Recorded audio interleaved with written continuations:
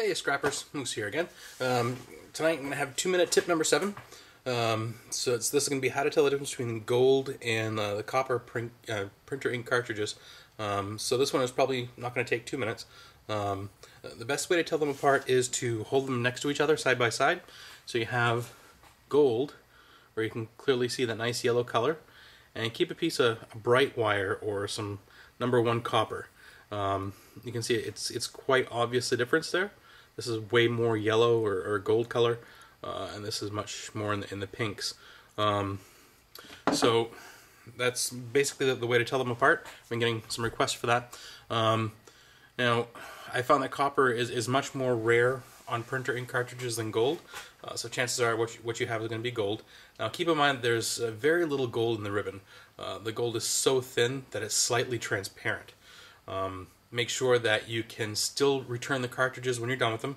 Uh, if you're going to pull the ribbons off, um, bring them to Staples, you can still get the $2 per cartridge there.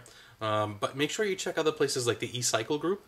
Um, sometimes they pay more, but the cartridge has to be intact and undamaged.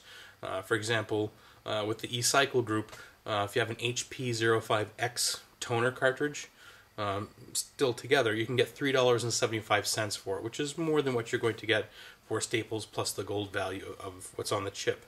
Um, please also remember this is not a get rich quick thing.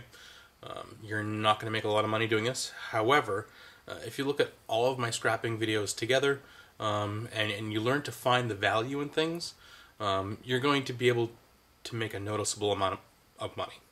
Um, and in this economy, anything is better than nothing. So, see you on the next one. Go make some money. Stop! Don't go anywhere! Comment. Say something. I want to hear from you. I want to, I want to know if you think I'm doing something great, I'm doing something bad, what I can do better. All comments are great. Make a suggestion what you want me to scrap next. And see you on the next video.